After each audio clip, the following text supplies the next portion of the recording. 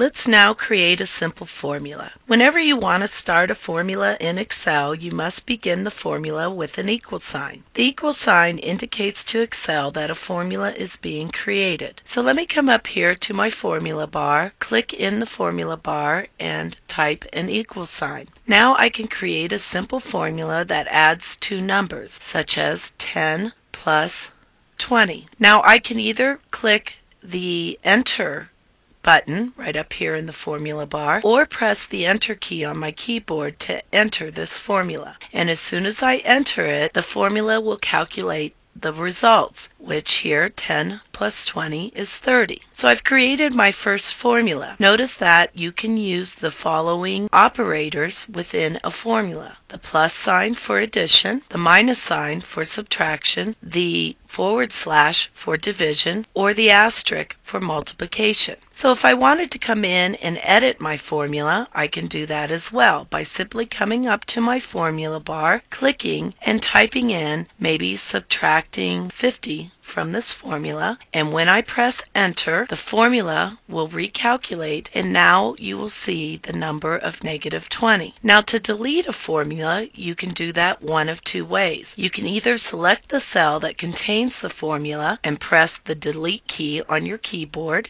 and then enter to enter that. Or, and let me undo, you can come up here to your formula bar and just delete part of the formula by pressing the delete key and then enter to enter the formula. Or if you wanted to delete the entire formula, you can highlight all of the formula in the formula bar and then press delete again from your keyboard and enter. It's as easy as that to create a simple formula, to edit a formula, as well as to delete a formula. What I'd like you to do is go ahead and open up a blank workbook and try inputting in formulas using addition, subtraction, division, and multiplication. When you're done with that, you don't need to save the file, but move on to the next movie.